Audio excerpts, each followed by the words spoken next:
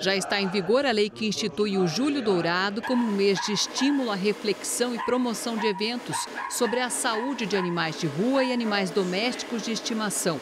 A nova lei é bem vista pelos médicos veterinários que enfrentam os desafios de cuidar da saúde dos bichinhos. O Julho Dourado vem aí só para agregar e para conscientizar, concretizar uma, uma ação que já vem sendo feita na cidade de Curitiba, como capital modelo e inovação, na questão de proteção, de não abandono né, dos animais e dos, dos contra os maus tratos, os bons tratos, seriam a respeito dos cães. Né?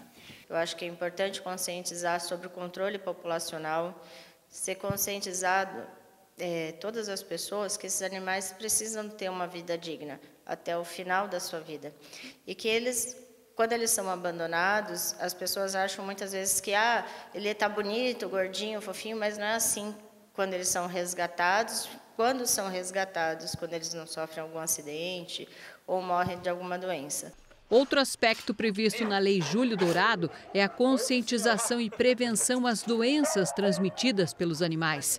De acordo com o médico veterinário Henry Kipgen, os cuidados dentro de casa incluem os pets e seus donos.